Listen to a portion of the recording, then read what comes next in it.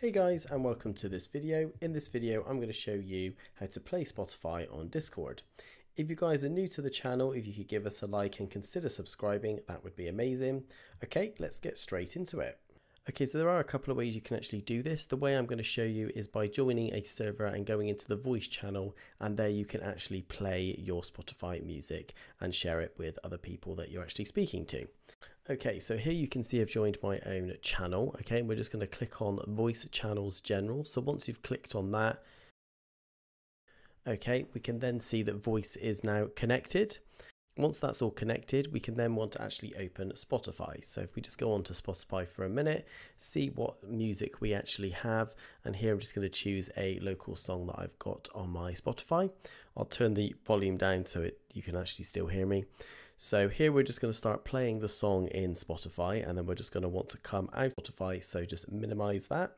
Okay, once that's all been minimized, you're going to want to come on this, button here, which got share your screen if you hover over it.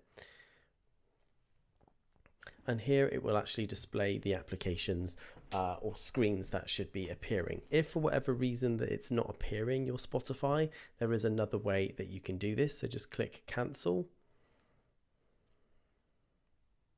And the next thing you're going to want to do is come down into the settings gear icon right at the bottom there and then just scroll down until you can find under activity settings registered games. Okay, so we'll just click onto that. It says there's no games detected, so we'll just go on to add it. And here you're just going to want to start typing in Spotify and it should be able to detect the application, which it has, and then just select add a game. Okay, right, so you're now displaying as Spotify is now playing. Okay, so we'll just press escape out of that one. Okay, so now we're back into the main Discord um, server. So here you're just going to want to select share screen again. And then I don't really change any of these settings. There's not really any need to. So just select go live. Okay, so then we come back into Discord and here it will show you a stream paused. To simply overcome this, you're just going to need to open the Spotify app. So just click back onto that. It's then playing. We can see it's actually playing the song.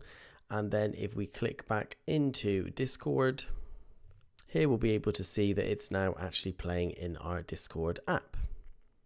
And that's pretty much it. That is how to play Spotify on Discord. I really hope you found this video useful. If you could give us a like and subscribe, we would really appreciate it. And I'll catch you guys in the next one.